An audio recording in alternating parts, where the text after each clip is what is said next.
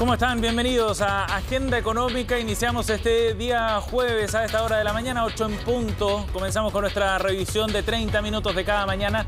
Gracias por acompañarnos en este día jueves 24 de junio. Vamos a ir de inmediato a nuestro resumen de noticias. Adelantamos algunos temas que marcan pauta en el día de hoy, algunos de los debates, discusiones que se van a dar en materia económica en nuestro país. Y vamos a comenzar de inmediato con noticias que llegan desde el Congreso y un proyecto que ha ido avanzando eh, en eh, el Senado, la Cámara Alta en particular, bien relevante para combatir la ilusión y la evasión en nuestro país. Ayer fue despachado eh, la idea de legislar, es el primer trámite recién en la sala del Senado para este proyecto que lo que busca es permitirle al Servicio de Impuestos Internos acceder a los saldos de las cuentas corrientes de los bancos eh, y en particular a las cuentas corrientes por sobre las 1.500 UF, es decir, algo así como 45 millones de pesos. Son los eh, montos más altos, las cuentas de mayor patrimonio, información sumamente importante que hoy día no tiene Servicio de Impuestos Internos y que le permitiría fiscalizar de mejor manera entonces los movimientos de las cuentas corrientes. Eh, es solo la información del saldo, no rompería el secreto bancario lo que plantea este proyecto que fue aprobado por amplia mayoría en su idea de legislar. Vuelve la Comisión de Hacienda. Ya revisamos detalles de la relevancia que tiene esta iniciativa y de la discusión que se ha dado en el Congreso en el contexto de la necesidad de mayor recaudación también en nuestro país. Por otra parte, revisaremos detalles del debate al interior del Banco Central que ya está evaluando la posibilidad de un alza de tasas mucho antes de lo que estaba esperando el mercado. De hecho, en la última reunión de política monetaria, explícitamente, según lo que revelan las actas del Banco Central, se evaluó la posibilidad de un alza de tasas en el mes siguiente. Eh, es eh, bien interesante porque da señales de hacia dónde se está encaminando el Banco Central, que recordemos lo que busca es dar estabilidad al mercado, entregar información que haga más predecible su actuar. Eh, y es bien interesante el análisis que hace. Coherente con el escenario macroeconómico está la posibilidad entonces de un alza de tasas que recordemos están en niveles históricos en nuestro país. Por otra parte, vamos a analizar también la discusión sobre un nuevo plan paso a paso. El gobierno va a entregar pronto los detalles. Se esperaba para hoy. Ayer el ministro París adelantaba que quizás se tomarán algún eh, tiempo más y en los próximos días conoceremos cambios al plan paso a paso en nuestro país. Y el debate ha estado cruzado también por los intereses y la posición que ha planteado el comercio en particular. De hecho, se espera mayor libertad, cambios en los aforos, por ejemplo, y desde el comercio están planteando derechamente que todas estas modificaciones vayan de la mano de un certificado de vacunación. El pase de movilidad que ya está implementado podría ser clave para ver cómo van a operar a partir de ahora distintos sectores comerciales, los locales establecidos, restaurantes, bares, centros comerciales, entre otros. Eh, es interesante el debate también, sobre todo porque desde el Colegio Médico y otros especialistas ven con algo de recelo que el plan paso a paso no sea visto como un asunto integral. Ya vemos más detalles de esta discusión en instantes. Por otra parte, el turismo, precisamente uno de los sectores golpeados por la crisis acá en nuestro país, a nivel global hace sus proyecciones respecto a los ritmos y velocidades de recuperación.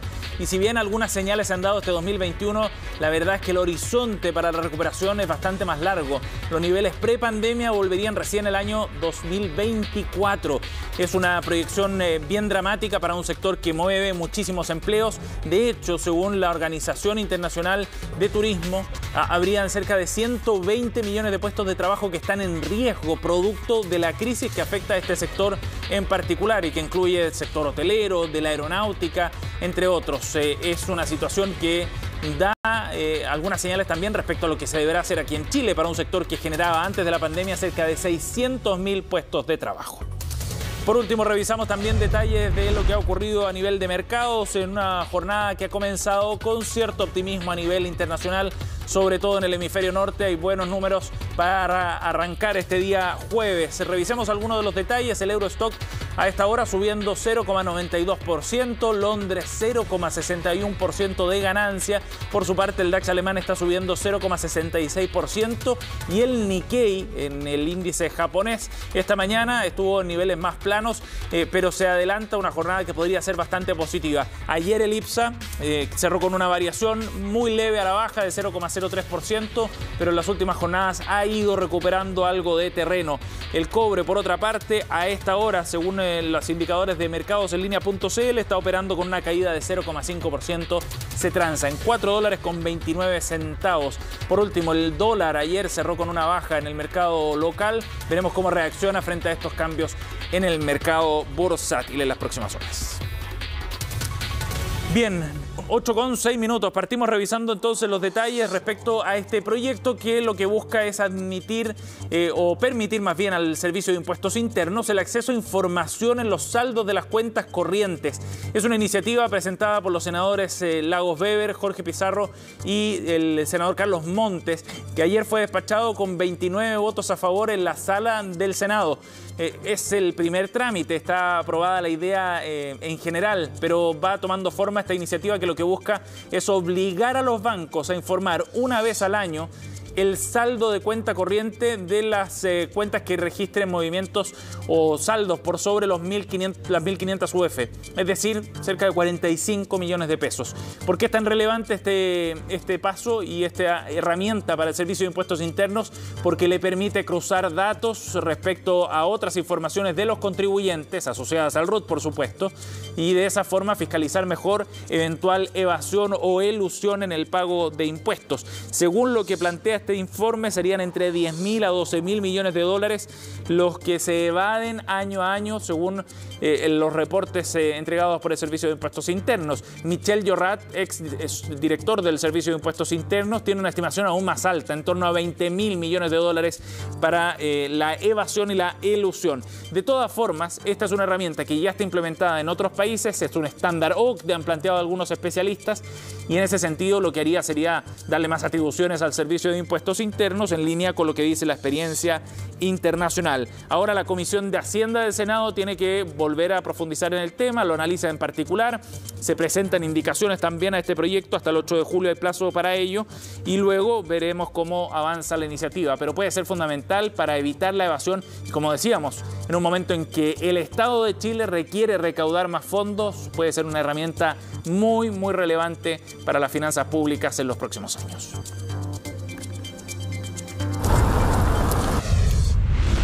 Otro tema para revisar detalles de la discusión que se está dando en el mercado y en el Banco Central, por supuesto, respecto a las tasas de interés. La última minuta que se conoció de la reunión de política monetaria correspondiente al mes de junio revela que estuvo sobre la mesa la posibilidad de un alza de tasas incluso en el mes siguiente. Es un escenario, dicen eh, desde el Banco Central, que es coherente con lo que se está trazando en materia macroeconómica y son señales bien relevantes eh, para una decisión importante para el mercado financiero, por supuesto. Eh, en el mercado apuestan por un alza hacia fines de este año. Sin embargo, la decisión pareciera se inclina por un alza mucho más rápido de lo que se pensaba. Vamos a revisar detalles en la siguiente nota de Estefanía Bustamante. Lo anunciaron hace dos semanas y los mercados lo están esperando. Hablamos del primer ajuste del Banco Central a la tasa de interés, que hasta ahora se mantiene en su mínimo técnico de 0,5% desde abril de 2020, alza de tasa que pudo comenzar el 8 de junio pasado. El Consejo consideró que mantener la tasa de política monetaria en 0,5% ya no era la única opción posible, sino que también era plausible la opción de aumentarla en 25 puntos base hasta 0,75%. Así lo muestra la minuta de la última reunión de política monetaria, donde evaluaron concretamente subir la tasa, pero no lo hicieron. A su juicio era mejor comunicar la decisión en el IPOM y no tomarla de inmediato. Había que preparar al mercado. Con lo expresado en la minuta, las entidades financieras ya prevén que el alza se producirá en la reunión que viene. Durante el mes de julio, el Banco Central suba la tasa política y, de hecho, de acuerdo a nuestras proyecciones, la lleve a nivel en torno a un y medio hasta fines de este año. Será clave para esta decisión las cifras económicas que conoceremos prontamente, como la actividad de mayo y la inflación de junio y es que según los expertos, la economía crece a un ritmo más rápido de lo previsto ante la mayor presión inflacionaria. En tal escenario, ¿es momento para pedir o refinanciar un crédito? Tendría que ser ahora ya. No están las condiciones del día de hoy como poder hacerlo. Está muy complicado. Esto no va a terminar hoy ni mañana. Evidente resguardo ante una pandemia que no ha terminado, pero en la práctica las tasas de interés en los créditos como el de consumo los inmobiliarios han alcanzado mínimos históricos y no se espera que suban fuerte. Las tasas de interés de las personas dependen de quién seas tú como sujeto de crédito y puede ser que hoy día no sea tu mejor momento de refinanciarte y mejor dicho sea mejor esperar. Las personas pueden tener de referencia, por ejemplo, el no asumir un endeudamiento que implique pagar mensualmente más de un 25% de sus ingresos al ítem deuda. Y mientras que en Chile se aumentará progresivamente la tasa, en Estados Unidos prefieren esperar hasta 2023. Diferentes estrategias que combinadas provocarían la caída del dólar en el mediano plazo. El peso chileno tiende a apreciarse un poco más frente al dólar, lo cual hace muy difícil que veamos nuevamente en los próximos meses el precio del dólar en los máximos históricos que vimos hace un par de meses atrás. Toda la atención estará puesta en la próxima reunión del ente emisor que termina el 14 de julio. 8 con 11 minutos. Ya les contábamos en nuestros titulares que vienen decisiones importantes en el plan paso a paso, uno 2.0, así lo han definido las autoridades. Y mientras se da ese debate, los gremios plantean sus propias posiciones respecto, en particular, al funcionamiento del comercio, orientados principalmente a mayor flexibilidad. De hecho, los, eh, las señales que ha dado el gobierno van en esa línea precisamente. Se ha socializado con distintos gremios del comercio establecido la posibilidad de eh, generar flexibilidad mayores aforos, por ejemplo, y de ir asociando además el plan de vacunación a aquellos, eh, aquellas personas que tendrían más posibilidades respecto a aquellos que no están vacunados en las actividades cotidianas. Eh, en esa línea irían los cambios que va a anunciar el gobierno. Se esperaba que fuera hoy ese anuncio. Sin embargo, el ministro París ayer decía que se iban a tomar un tiempo para precisamente socializar con aquellas personas que han participado en esta discusión, con los gremios principalmente, eh, la posibilidad de estos cambios y luego hacerlos públicos, considerando que ya el proceso de vacunación ha llegado a un 80%. Hay cerca de 2 millones de personas que están rezagadas en, distintos sectores y gremios del comercio ven eh, como una posibilidad de generar un gancho y mayor seguridad, por supuesto, desde el punto de vista sanitario, la apertura condicionada al acceso de las personas que están solamente vacunadas. Por ejemplo, desde Achiga plantean la posibilidad de que se incorpore más libertad y mayores posibilidades para las personas que ya tienen las dos dosis, algo que es fácilmente fiscalizable con el pase de movilidad, por ejemplo. Y porque hay también un cuestionamiento sobre la efectividad que tienen las cuarentenas. Por ahí va la discusión en... Eh, el oficialismo además hay un debate interno bien interesante que hay que mirar con detalle, porque en la UDI han planteado que no van a extender el estado de excepción, que es lo que permite tomar todas estas medidas, si es que no hay cambios y mayor libertad fundamentalmente desde el punto de vista de la actividad comercial. Esa ha sido una condición, por lo tanto se prevé efectivamente cambios bien profundos en esa materia, la posibilidad de revisar el inicio del toque de queda, de acortarlo, generar más flexibilidad, es otro punto también bien relevante que miran de cerca desde los gremios que ya tienen sus propuestas sobre la mesa. Bien, vamos a ir a otro tema porque esta semana se dio un paso bien relevante en el plan de descarbonización de nuestra matriz energética, porque la Cámara de Diputados aprobó el proyecto que lo que busca es cerrar todas las termoeléctricas para el año 2025, adelantando así los planes que tiene el gobierno en esta materia. Es un paso bien relevante en una señal también que se está dando al mundo en el proceso de limpiar nuestra matriz energética. Son las protagonistas del debate ambiental, responsables del 38% de nuestro preciado suministro eléctrico, pero emiten gases de efecto invernadero, partículas de plomo, mercurio, ácido sulfúrico, entre otras, todos perjudiciales para la salud. Llegué aquí y aquí en el embarazo, bronquitis, bronquitis, bronquitis obstructiva. Pues incluso medirlo así. Los vecinos hay quien le ha dado un accidente cerebrovascular, quien tiene cáncer. Huasco, una de las llamadas zonas de sacrificio por la presencia de este tipo de plantas, no son los únicos. La gran parte de las termoeléctricas a nivel nacional se concentran en comunas como Tocopilla, Puchuncaví y Coronel. Ahora la oposición propone el cierre de todas a 2025.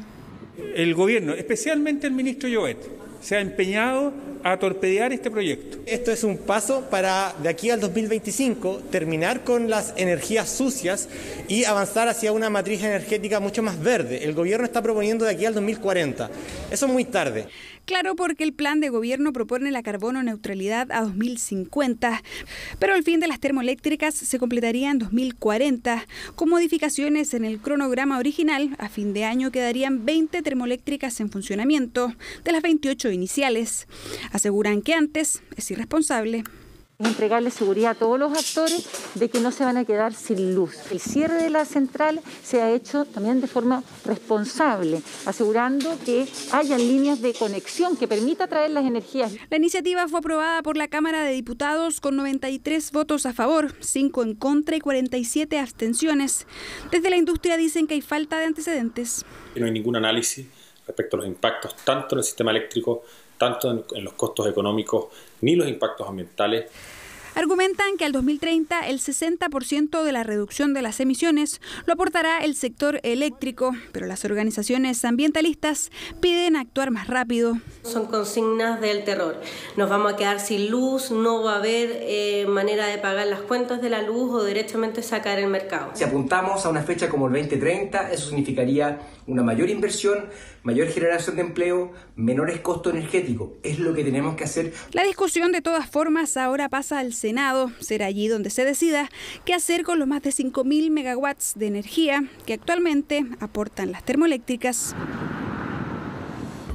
Bien, 8 con 16. Nos vamos a la pausa y volvemos de inmediato con más de agenda económica.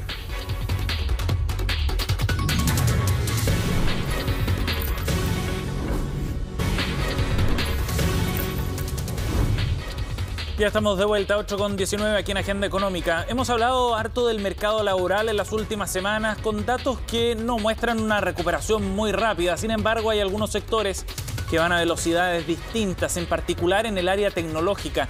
La empresa Accenture, por ejemplo, anunció que va a contratar a cerca de 400 profesionales con foco puesto en la diversidad, pero sobre todo en nuevas capacidades desde el punto de vista precisamente tecnológico. Los cambios que está generando la pandemia aceleran también las modificaciones del mercado laboral. Estamos en contacto para profundizar en el tema con el presidente ejecutivo de Accenture Chile, Nicolás Goldstein. ¿Cómo está Nicolás? Buenos días. Hola, muy buenos días. ¿Cómo estás tú? Gracias por el contacto, Nicolás. Eh, bueno, ya lo decíamos, el mercado laboral no ha dado muy buenas señales últimamente. Sin embargo, este anuncio que hacía Accenture es bien interesante porque además pone el foco en nuevos talentos y en nuevas áreas de desarrollo. Cuéntanos un poco de esta convocatoria que están haciendo, Nicolás. Mira, la convocatoria es como mencionaste tú, de aquí a los próximos meses hasta diciembre, 400 profesionales estamos buscando. Esto se debe a que hay un cambio abrupto después de la, de la pandemia. Las empresas aquí en Chile se dieron cuenta que la tecnología los lleva a nuevos niveles de productividad, de eficiencia, de contacto con los clientes, con los consumidores. Y, bueno, este, esta necesidad de tecnología hace que eh, tengan que pedir a veces un poco de ayuda para llegar a este nuevo nivel y ahí es donde muchas veces nos llaman y nosotros necesitamos crecer en forma abrupta. Sí. Nicolás, qué tipo, de, qué tipo de trabajos son los que se están buscando entonces eh, en esa línea, en ese proceso de transformación digital? Muchos perfiles relacionados con la tecnología, gente relacionada con manejo de backend, frontend, eh, mobile, cloud, ciberseguridad, SAP, eh, toda la gente también recién titulada de carreras de sistemas. Eh, esos son los perfiles de estos 400, hay como 85% que son específicamente de tecnología. Ajá. Eh, ¿Y cómo está el mercado en ese sentido, Nicolás, eh, desde el punto de vista de la oferta laboral de los profesionales? Eh, porque el cambio ha sido súper abrupto. La pandemia generó un punto de inflexión en este sentido y aceleró mucho los procesos de transformación digital.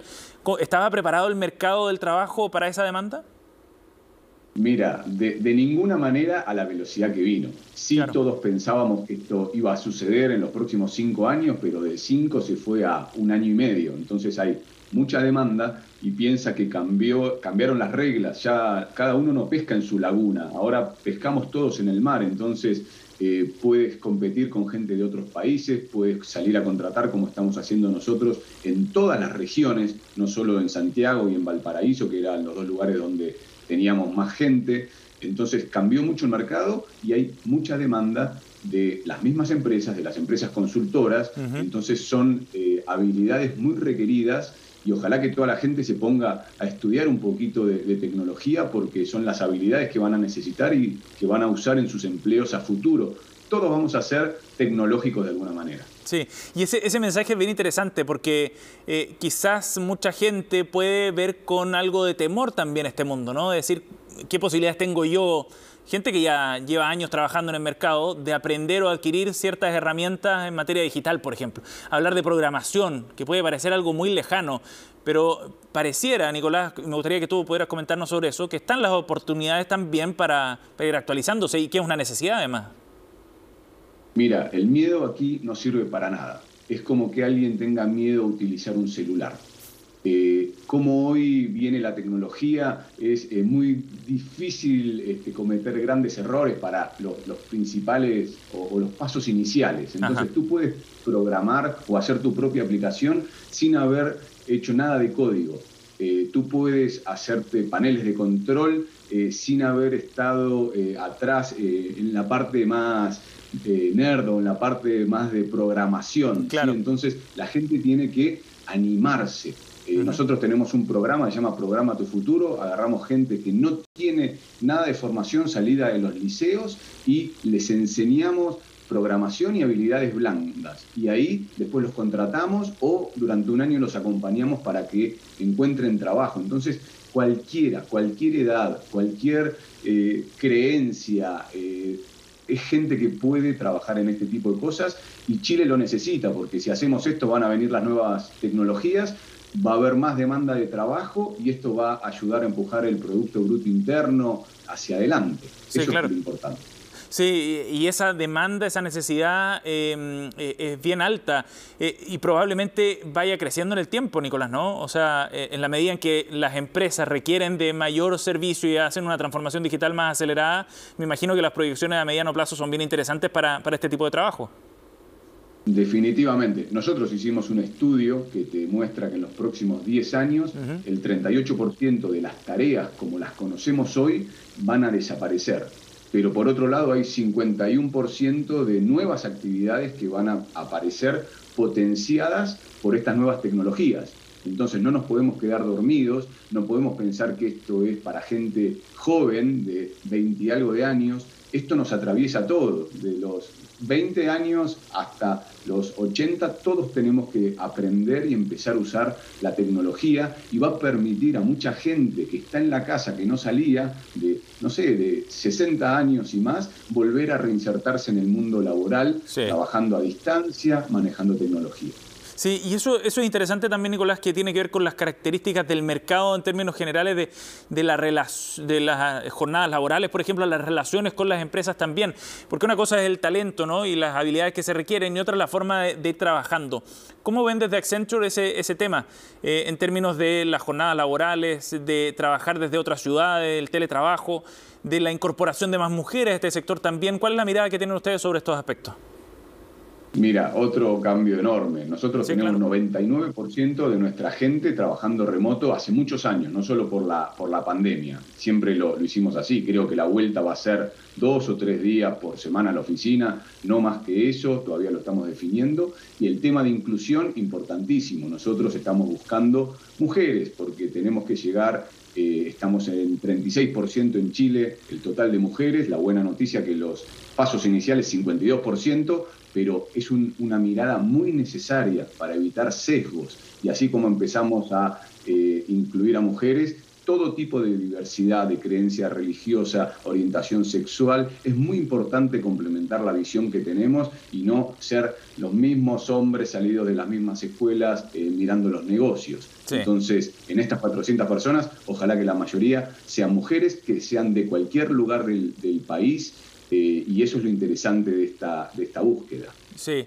Eh, Nicolás, por último, eh, las personas que quieran efectivamente postular o acceder a alguno de estos cupos que están ofreciendo, eh, ¿cuáles son los pasos a seguir? Quienes nos están mirando las casas quizás requieren también eh, esos datos. Mira, muy fácil.